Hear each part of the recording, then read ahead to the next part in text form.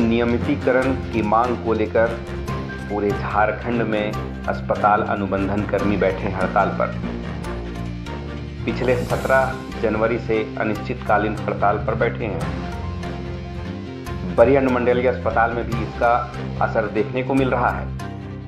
हड़ताल के कारण अनुमंडलीय अस्पताल के कार्य हो रहे हैं बाधित।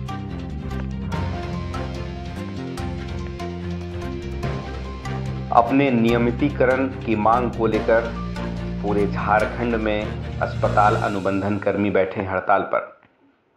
तारीख 16 जनवरी को मुख्यमंत्री आवास का घेराव किए थे। उसका 17 जनवरी से लगातार हड़ताल में है और 24 तारीख से आमरण अनशन में भी है। हम लोग का एक ही मांग है, सीधा समायोजन।